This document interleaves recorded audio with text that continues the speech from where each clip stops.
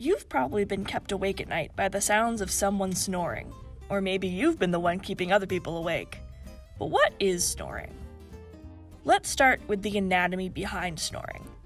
The pharynx is a large tube that's part of both the respiratory and digestive systems, and the nasopharynx is the upper part of the pharynx that connects to the nasal cavity.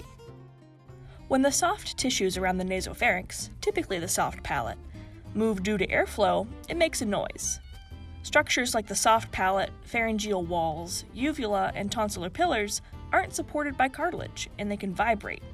And all of that rattling makes the noise we recognize as snoring. But if airflow causes these structures to vibrate, why don't people snore when they're awake? When you fall asleep, your body's muscle tone decreases. This relaxation can make the airway shrink, limiting airflow.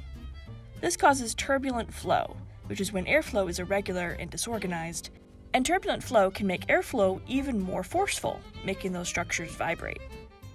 When you combine difficult airflow and the soft tissues around the nasopharynx, you get snoring. Want to learn more about respiration? Visible Body Suite has all the 3D gross and microanatomy models and physiology animations you need, as well as 3D flashcard decks for studying. Learn more at visiblebody.com/vbsuite.